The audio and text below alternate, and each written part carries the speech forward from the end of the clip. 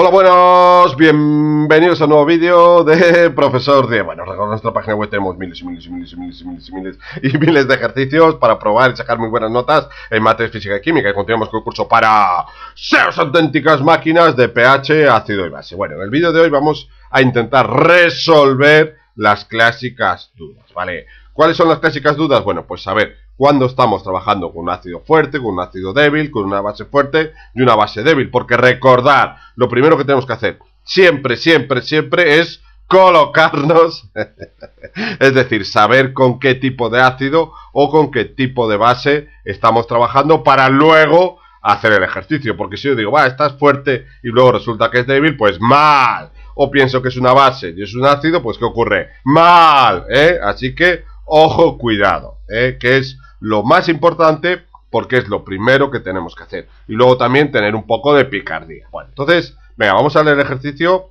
eh, que os va a enseñar cómo lo hago yo. Dice, calcula el pH y el grado de disociación de las siguientes disoluciones de concentración 0,1 molar. Es decir, los cuatro casos van a ser concentración 0,1 molar. Bien, y nos dan la pK SUA, ¿vale? Bueno, así también vemos la pK SUA, eh, que no la hemos visto, ya veréis que es fácil. Bueno, nos preguntan ácido cianhídrico, hidróxido de calcio, anilina y ácido clorhídrico. Bueno, entonces vamos a empezar por el A, por el ácido cianhídrico. Bueno, entonces, ¿sabe alguien en casa cuál es el ácido cianhídrico?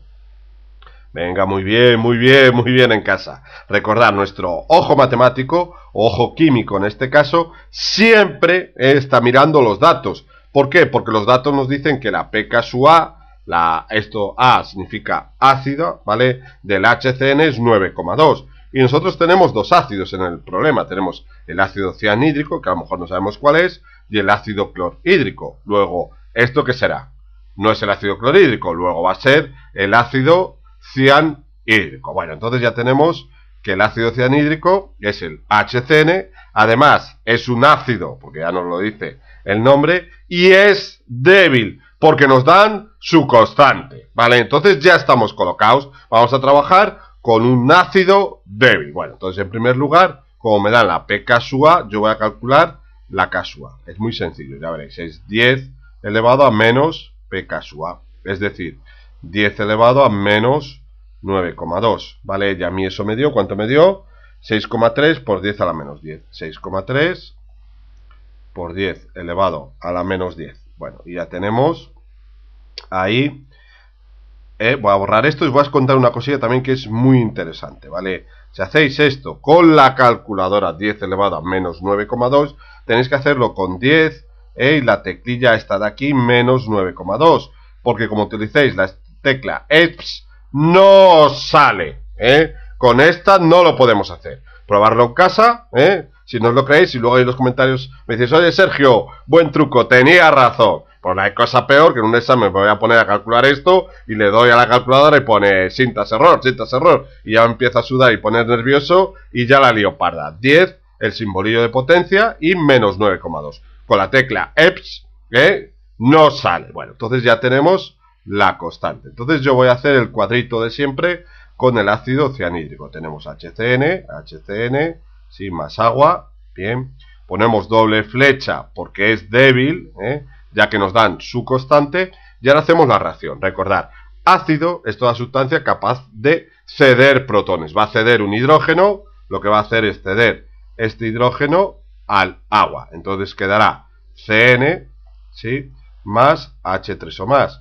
Como el H3O más es positivo, el CN tiene que ser negativo, ¿vale? Porque las reacciones tienen que estar, recordar, perfectamente bien ajustadas. El mismo número de hidrógenos, 3 aquí, 3 aquí, un nitrógeno, un nitrógeno, un carbono, un carbono, y aquí no hay carga, y aquí tampoco puede haber carga. Menos 1 más 1, 0, patatero. Venga, y hacemos ya el cuadrito. Inicio, son 0,1, nada, nada y nada, ¿vale?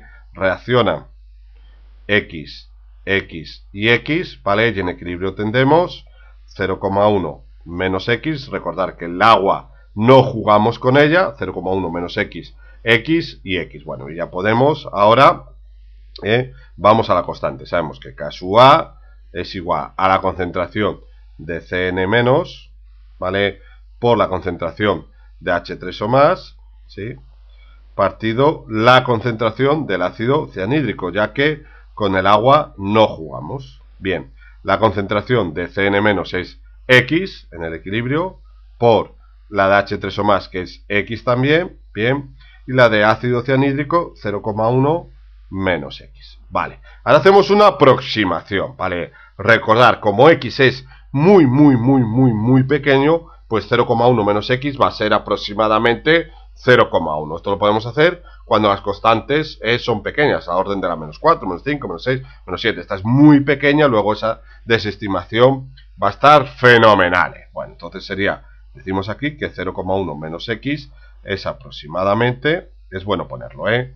0,1. Este simbolillo está igual chungo, no es que me haya salido chungo el igual, que también, ¿eh? Sino que significa aproximadamente lo mismo o casi igual. Bueno, entonces tenemos aquí que esto es x por x, x al cuadrado partido 0,1 y nosotros decíamos que era igual a casu a, que es 6,3 por 10 a la menos 10. 6,3 por 10 a la menos 10. Ahora tenemos que despejar la x al cuadrado, el 0,1 que está dividiendo lo pasamos para el otro lado multiplicando, ¿sí? 6,3 por 10 a la menos 10 por 0,1 y como la x está al cuadrado pues hacemos raíz cuadrada. Bueno, ya mi x igual, x me dio, ¿cuánto nos dio x, Sergio? Me dio 7,94 por 10 a la menos 6. Venga, 7,94 por 10 a la menos 6. Y lo remarcamos, vale, vamos a remarcar a fuego ahí, en rojo. Y no me pongo muy bien, ¿eh? porque aún no he acabado. Bueno, una vez que tenemos la x, recordad, en estos problemas de equilibrio, ¿eh? una vez que tenemos la x, la dificultad del problema desaparece. Bueno, ¿por qué? Porque nosotros nos preguntan el pH, y el pH es el menos logaritmo de la concentración de H3 o más. pH es igual al menos logaritmo de la concentración de H3 o más. Bien, sería menos el logaritmo ¿eh? de la concentración de H3 o más, que es 7,94 por 10 a la menos 6, porque la concentración de H3 o más es X, 7,94, ¿sí? Por 10 a la menos 6. También recordad una cosa, que yo hoy no he desayunado, ¿eh?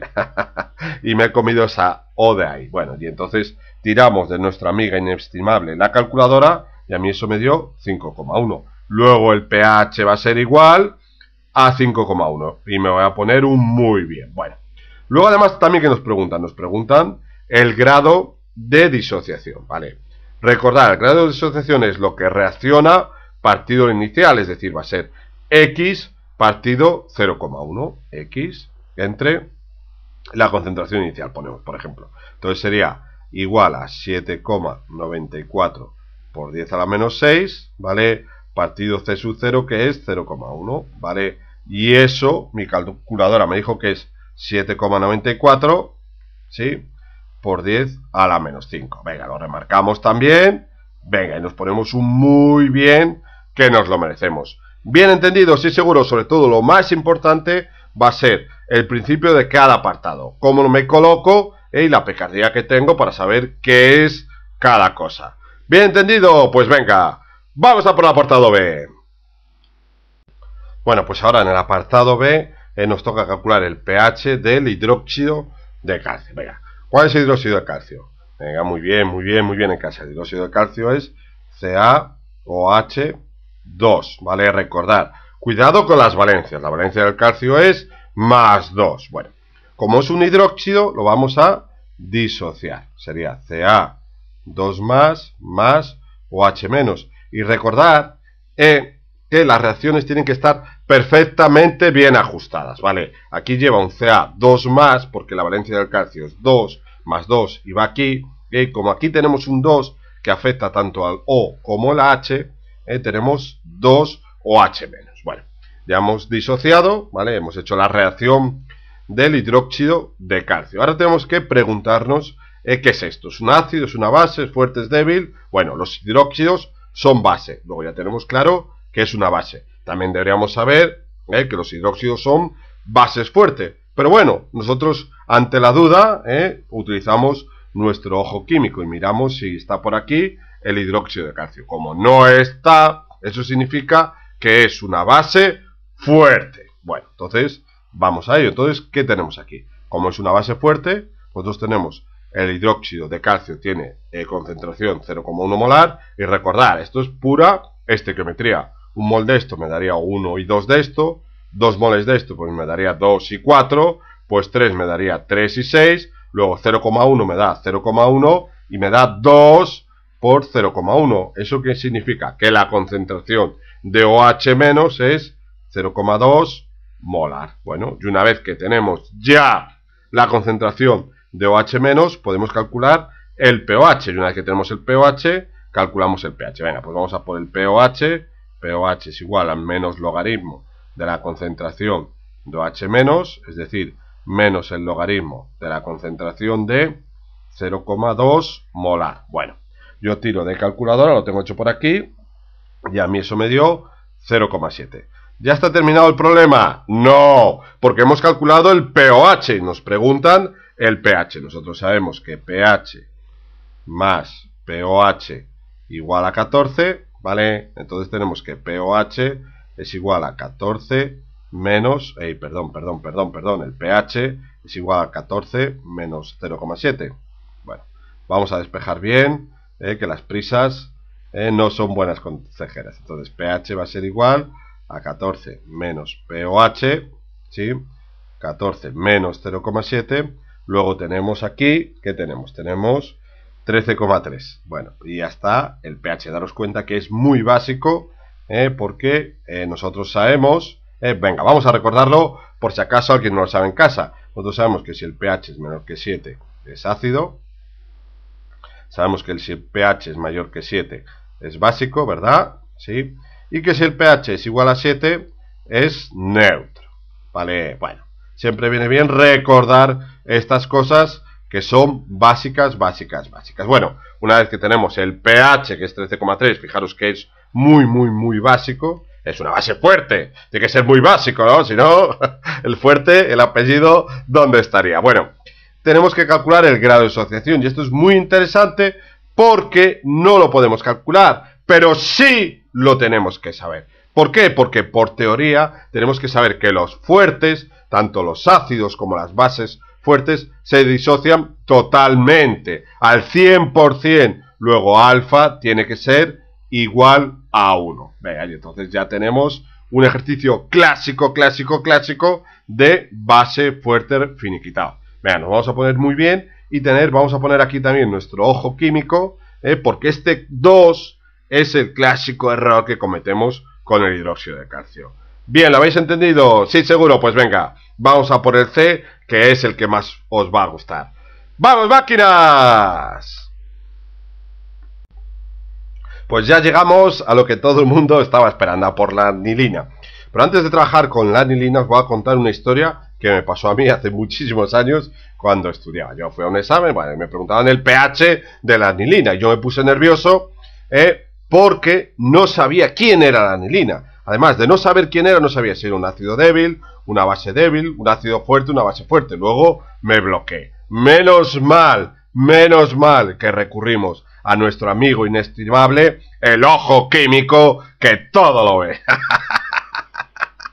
y entonces miré los datos y dije, oye Sergio, ¿qué es esto que hay aquí? Pues no tengo ni idea. Pues debe ser la anilina porque los otros ya sé cuáles son. Bien, y ahora me pregunto, ¿es un ácido o es una base débil? ¿O fuerte o débil? Digo, me da la PK sub B, eh, B de base, luego estoy trabajando con una base débil y además ya sé su fórmula. Luego, la anilina, ¿qué es? Es una base débil de fórmula C6H5NH2. Bueno, y ya me puse a hacer el ejercicio y luego me puse un muy bien que me lo merecía. Bueno, entonces ya sabemos que estamos trabajando con una base débil ¿eh? y que sabemos su fórmula. Bueno, entonces lo primero que voy a hacer voy a calcular K sub B. K sub B igual que antes es 10 elevado a menos el PK sub B, ¿sí? Es decir, 10 elevado a menos 9,4. Bueno, y esto lo tengo hecho por aquí, a ver si lo encuentro. Estás aquí, sí señor.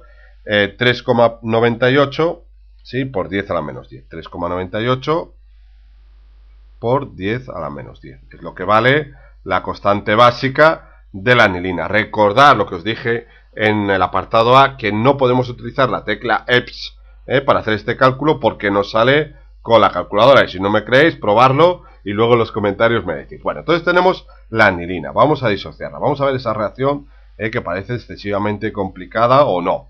No lo sé. NH2 más H2. Bien, ponemos doble flecha porque sabemos que es débil. Y ahora nos preguntamos, ¿qué es una base? Una base es toda sustancia capaz de captar, coger, absorber protones, hidrógenos. Entonces lo que va a hacer la anilina es cogerle un protón al agua, ¿vale? Y va a ir aquí, ¿eh? porque esto es el pariente del amoníaco, ¿lo veis? El pariente del NH3. Luego eso es lo que me da el carácter básico de la anilina. Entonces lo metemos ahí y sería C6H5 NH3 más OH menos. Y como este OH tiene menos, este otro tendrá más. Y si queréis comprobamos 6 carbonos, 6 carbonos, tantos hidrógenos, tantos hidrógenos, comprobamos. Yo siempre compruebo eh, que la reacción esté perfectamente bien ajustada. Bueno, una vez que ya hemos hecho la reacción, que parecía complicada, pero nuestro ojo químico la hizo sencilla, empezamos con el problema. Entonces decimos inicio. ¿Vale? Tenemos 0,1, nada, nada y nada. Reaccionan X, X y X. Y ahora tenemos en equilibrio 0,1 menos x. Yo esto que estoy haciendo ahora, yo recomiendo que lo hagáis vosotros y luego comprobéis el resultado. Bueno, una vez que ya hemos hecho el cuadrito, eh, vamos a K sub B. K sub B es igual a la concentración de esto de aquí, C6 y la C, ya me lo comí con patatas. Venga, C6, me pongo nervioso y quiero hacer todo esto muy rápido. NH3 y las prisas no son buenas consejeras en este tipo de ejercicios. OH menos ¿vale? Partido la anilina, la concentración de anilina que es C6H5 NH2. Bueno, la concentración de esto de aquí es X, de OH menos es X, y de la anilina 0,1 menos X. Entonces sería X por X y 0,1 menos X. Bueno, entonces X por X es X al cuadrado, y esto de aquí podemos desestimar esta resta, simplificarla, ¿eh? aproximar la que diga, porque al ser la constante muy pequeña, esta x va a ser muy pequeña. Luego 0,1 menos x va a ser aproximadamente 0,1. Luego ya tenemos partido 0,1. No me entretengo mucho con esto porque ya sé que sois unas máquinas. ¿eh? y venga, 3,98 por 10 a la menos 10. Y despejo la x. x será igual a raíz cuadrada de 3,98 por 10 a la menos 10 por 0,1. Recordar, este 0,1 está dividiendo, pasa para el otro lado multiplicando y como es x al cuadrado, ¿vale? Tenemos que hacer raíz cuadrada. Hacemos esta operación de dentro y luego la raíz cuadrada, ¿vale? Ya mi x me dio, lo voy a apuntar aquí, x igual a 7, a ver, espera que lo apunte aquí, estaba ya en otro problema. 6,3 por 10 a la menos 10. 6,3 por 10 a la menos 6. Bien, menos mal que me di cuenta que estaba copiando el resultado de otro ejercicio. Bueno, vaya risa ¿eh? si lo hago. Bueno, y ahí tenemos la X. ¿Y qué ocurre cuando una vez que tenemos la X? Pues que la dificultad del problema desaparece. Bien, entonces ahora como X es la concentración de OH menos, podemos calcular el POH, ¿vale? digo pH, POH, perdón, es igual a menos el logaritmo de la concentración de OH menos. ¿vale?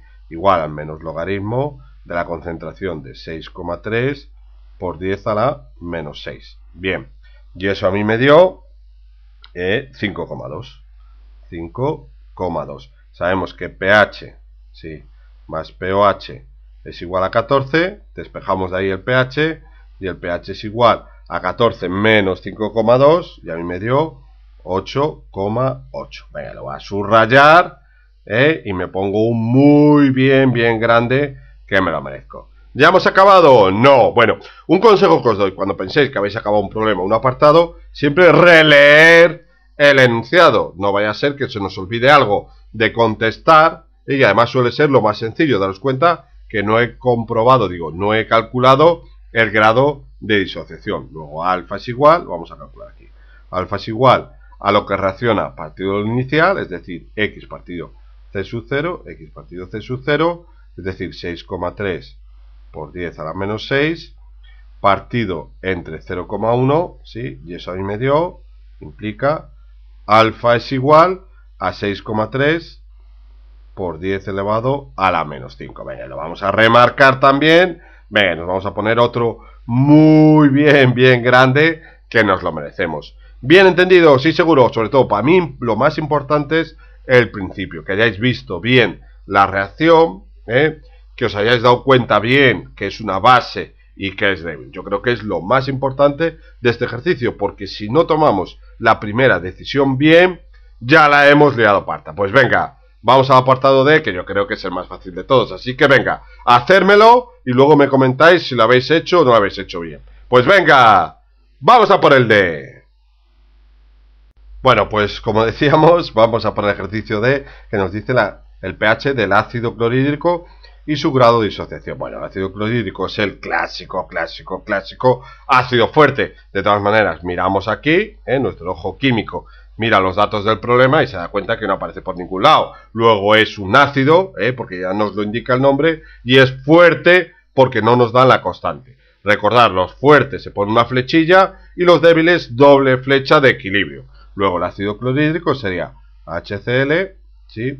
Más H2 y una flechilla solo eh, porque es fuerte. Sabemos que ácido es toda sustancia capaz de ceder protones, luego le cederá un protón el H2O y quedaría Cl sí, más H3O más. Bien, entonces aquí es pura estequiometría. Si yo tuviese un mol de ácido clorhídrico, obtendría un mol de Cl y un mol de H3O más. Si tuviese 2, pues 2 y 2, 3, 3 y 3. Pero como tengo 0,1, pues voy a tener 0,1 de esto y 0,1 de eso. Luego ya sabemos la concentración de H3O más. Como conocemos la concentración de H3O más, ya podemos calcular el pH. pH es igual al menos logaritmo de la concentración de H3O más. Bien, igual al menos logaritmo de la concentración de H3O más que decíamos que era 0,1 y eso nos da 1. ¿eh? Sin calculadora, ¿eh? Vaya máquina de los logaritmos, estoy hecho. Venga, me voy a poner un muy bien. Bueno, y ahora, ¿eh? una vez que tenemos el pH, tenemos que calcular el grado de disociación. Venga, entonces, pregunta sorpresa en casa. ¿Cuál es el grado de disociación? Venga, muy bien, muy bien, muy bien ahí. El grado de disociación es 1, porque recordar, los fuertes se disocian completamente. Tanto los ácidos como las bases fuertes se disocian el 100%. Luego alfa será 1 para cualquier ácido fuerte y para cualquier base fuerte. Bueno, luego ya pongo alfa, el grado de asociación me pongo otro muy bien. Bueno, pues el ejercicio de hoy lo hemos finiquitado. Espero que todo el mundo haya entendido mis trucos para saber identificar cuando tenemos un ácido fuerte, débil, base fuerte, base débil y cómo eh, trabajar con ellos. En los fuertes se disocian completamente, alfa es igual a 1, se pone solo una flecha, en los débiles no se disocia completamente y hay equilibrio químico, por lo que hay que poner doble flechilla. Bueno, si el vídeo os ha gustado, ya sabéis, darle al like, que para mí es muy importante, suscribiros, suscribiros, suscribiros al canal de YouTube y ojo, importantísimo, activar la campanilla, porque en época de exámenes me gusta, eh, me encanta subir ejercicios clásicos, clásicos, clásicos de examen, eh, y a lo mejor dentro de dos días tienes examen y ¡bumba! Os clavo uno muy parecido. Así que, venga, máquinas, nos vemos en el siguiente vídeo, que vamos a continuar, vamos a girar ¡ah! el nivel de dificultad y va a ser más difícil, pero sobre todo mucho más divertido.